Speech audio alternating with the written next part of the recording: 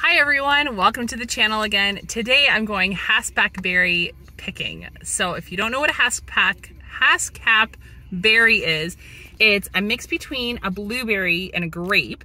And on the outside it looks like a blueberry, so it has kind of like the the, the kind of coating for protection that a blueberry has, except they're a little bit longer and it looks like a smushed grape actually.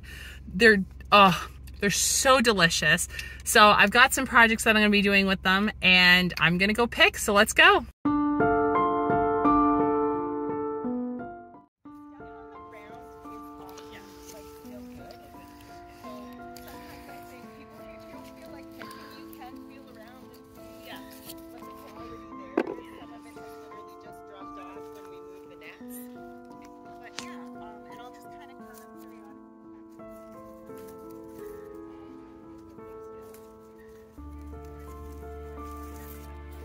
We call those ones babies in a blanket.